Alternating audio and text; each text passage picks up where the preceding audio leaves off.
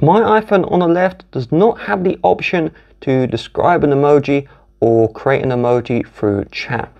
My iPhone on the right does, so what on earth is going on? Well, this iPhone on the right is using a screenshot from Apple's website. To break this down, Genmoji is the feature where when you activate the emoji, it will allow you to generate a custom AI emoji using your text.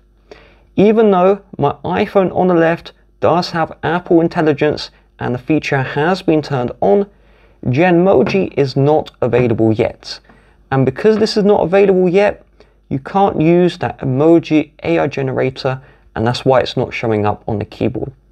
To figure out when this Genmoji feature will come out, if we look at the About page of our settings, iOS 18.1 is when Apple Intelligence is introduced, which uses the chat emoji feature.